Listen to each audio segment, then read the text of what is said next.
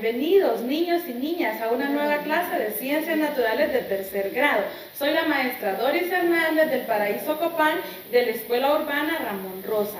En esta clase aprenderemos los recursos artificiales. Ese es el tema que veremos el día de hoy. Pero también quiero recordarles eh, algo muy importante que es el lavado de manos, ¿verdad? Sabemos la situación que estamos pasando y para ello hay varios pasos que debemos de seguir. Pasos para lavarse las manos. Mojar las manos con agua. Aplicar una pequeña cantidad de jabón. Frotar las palmas de las manos. Frotar los dedos. Frotar las uñas en las palmas de la mano. Frotar la parte posterior en cada mano. Lavarse con agua limpia secar con una toalla limpia o con papel. Muy bien, niños. Vamos a ver. ¿Qué investigaron sobre los recursos artificiales? Ah, muy bien, excelente.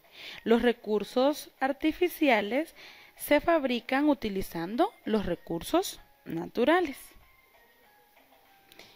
¿Creen que el vidrio es un producto natural o artificial.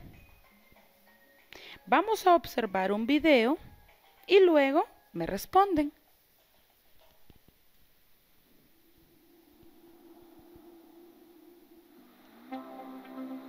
El vidrio es fuego y arena. Por 500 años, la gente ha estado haciendo vidrio. Es tan importante ahora para la vida moderna como siempre lo fue. El vidrio es el material de envase más puro. Aquí en OI hemos perfeccionado el arte de la fabricación de vidrio con el transcurso de las generaciones. Desde que nuestro fundador Michael J. Owens inventó la máquina automática de botellas en 1903, hemos llevado la artesanía del vidrio a gran escala en el mundo.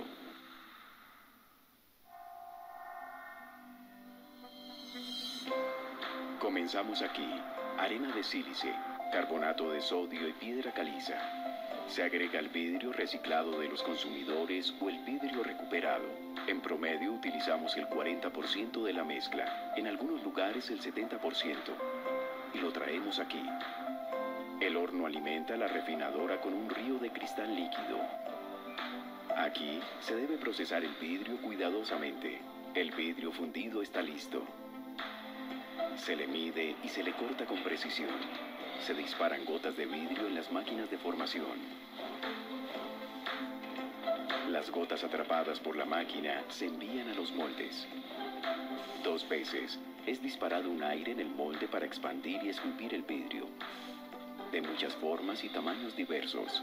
En OI creamos 5 millones de botellas por hora. Las 24 horas del día, de los 365 días del año, las máquinas nunca se detienen.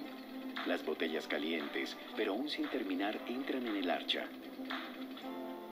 Con cuidado se les vuelve a calentar y luego muy lentamente se les deja alcanzar la temperatura ambiente para liberar tensiones. Las botellas nuevas emergen fuertes y duraderas. Listas para dar vida a las marcas de alimentos y bebidas que amamos. Para vinos, cervezas, licores, jugos y más. En OI estamos liderando el camino de la innovación, desarrollando la próxima generación de vidrio para empresas y consumidores. Hermosos íconos, el envase más sostenible del planeta. Las posibilidades son infinitas. Somos expertos líderes en envases de vidrio y unimos el arte y la ciencia del vidrio, honrando la tradición de fabricación de este, que tiene más de 5.000 años de antigüedad. En OI creamos envases modernos que son buenos para los océanos, buenos para el planeta, buenos para la salud. Y estamos orgullosos de liderar el camino del vidrio en los siglos venideros.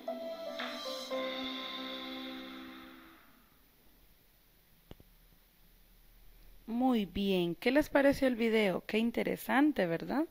Después de observar el video, ¿cómo podemos clasificar el vidrio? ¿Como un producto natural o un producto artificial?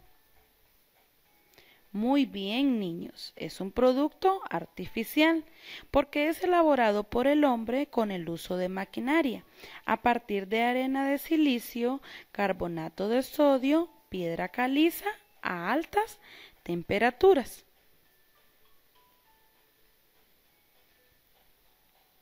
¿Qué son los recursos artificiales?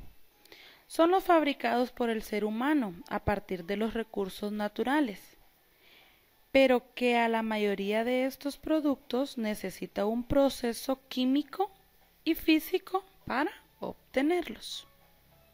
Vamos a ver algunos ejemplos de recursos artificiales. Número 1. Tenemos al nylon.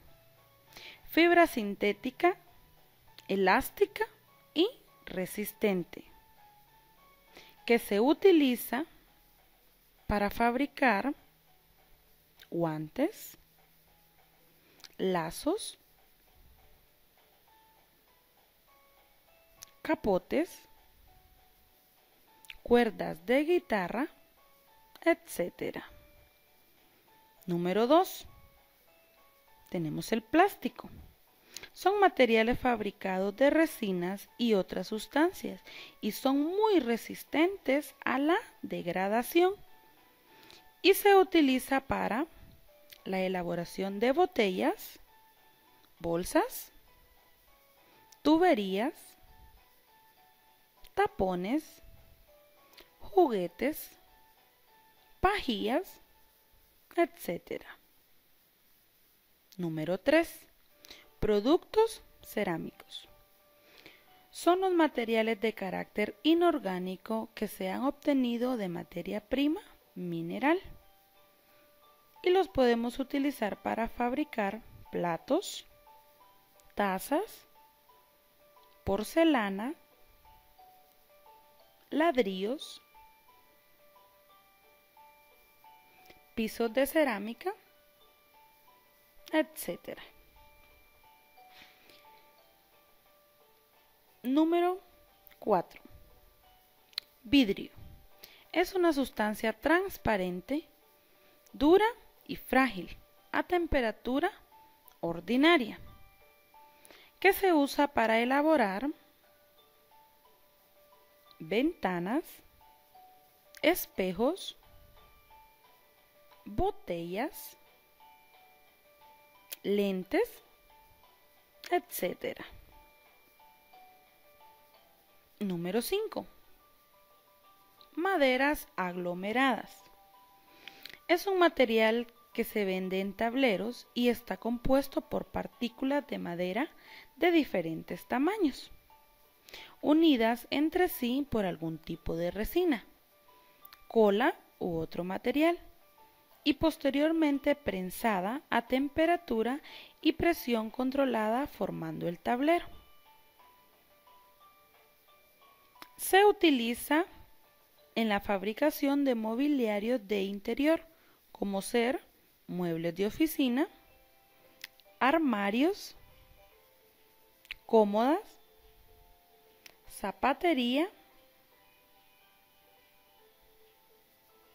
estanterías. También lo podemos utilizar en carpintería e interior de puertas, encimeras, revestimientos de suelos, paredes y techos. Número 6. Cemento. Es un conglomerado formado a partir de una mezcla de caliza y arcilla calcinadas y posteriormente molida, que tiene la propiedad de endurarse después de ponerse en contacto con el agua. El producto resultante de la molienda de estas rocas es llamada clinker, que se convierte en cemento cuando se le agrega una pequeña cantidad de yeso para evitar la contracción de la mezcla al fraguar cuando se le añade agua y al endurarse posteriormente. Su uso es muy generalizado en la construcción y también en la ingeniería civil. Número 7. Pegamento. Es una sustancia que se puede mantener unidos dos o más cuerpos por contacto superficial. Lo podemos utilizar con el papel, en la madera, con la porcelana, con el metal, en el plástico, en el vidrio, cuero, tela, etc. Número 8. Pintura. Es un producto fluido que, aplicado sobre una superficie en capas relativamente delgadas, se transforma al cabo de un tipo en una capa sólida que se adhiere a dicha superficie, de tal forma que recubre, protege y decora el elemento sobre el que se ha aplicado. Se utiliza para pintar interiores y exteriores de casas, carros, cerámica, pinturas de arte, etc. Número 9. Medicamentos. Son compuestos químicos que se utilizan para curar, detener o prevenir enfermedades, para aliviar síntomas o para ayudar a diagnosticar algunas enfermedades. Los avances en los medicamentos han hecho posible que los médicos curen muchas enfermedades y salven muchas vidas. Sabemos que es de mucha importancia, ¿verdad? Bueno, niños, como conclusión, podemos decir que son de gran importancia para la supervivencia del ser humano, pero que de igual manera requiere de mucha explotación de los recursos naturales y así conlleva la extinción de los mismos. Además que produce mucha contaminación al medio ambiente, ¿verdad? Niños, el día de hoy no habrá tarea, ¿verdad? Y esperamos que hayan disfrutado de esta clase. Gracias por su atención. Recuerden que te queremos estudiando en casa.